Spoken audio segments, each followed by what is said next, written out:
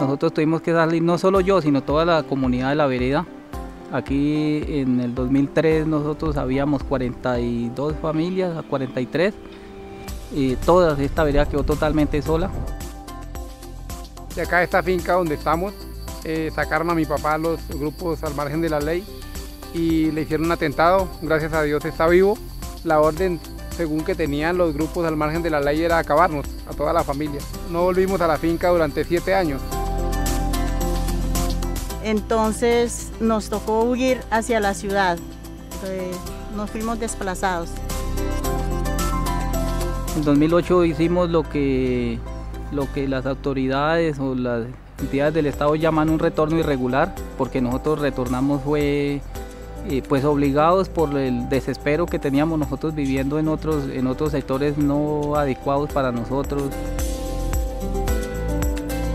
Eh, pues como tal el municipio por la violencia y todo fue reconocido como municipio de reparación colectiva donde acoge toda la comunidad.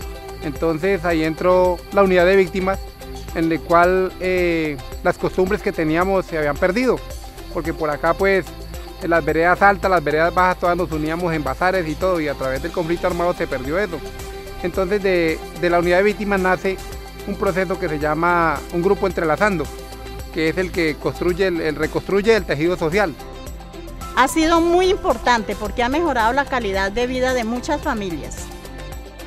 Tainur entró y nos apoyó en el mercado campesino, es ir a comercializar nosotros mismos, ofrecerle al, al consumidor nuestros propios productos.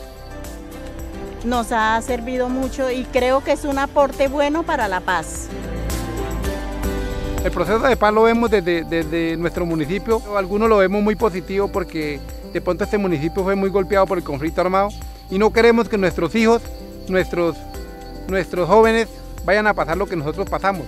¿sí? No queremos de pronto que ellos repitan eso tan horrible que nos tocó pasar a nosotros. ¿sí?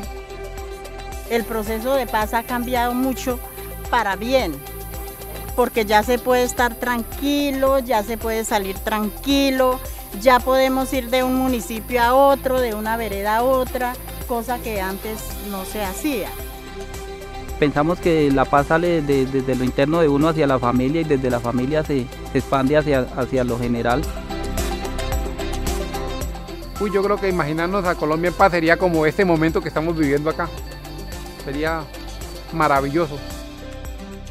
Sueño ver a mi país reconciliado, que no hayan fronteras, que no hayan discriminaciones, que seamos todos hermanos.